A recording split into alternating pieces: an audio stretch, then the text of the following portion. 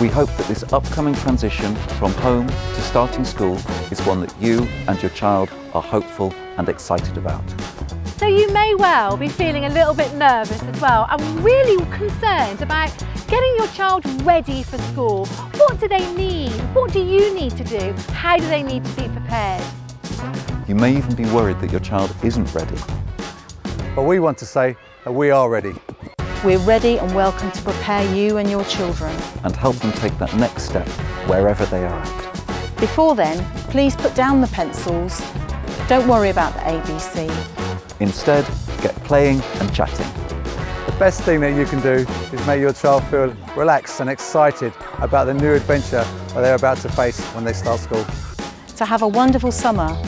So allow your child to have the adventures, get wet, get muddy, get dirty, go for long walks, explore different ways of learning and that will mean that they will be so ready for September.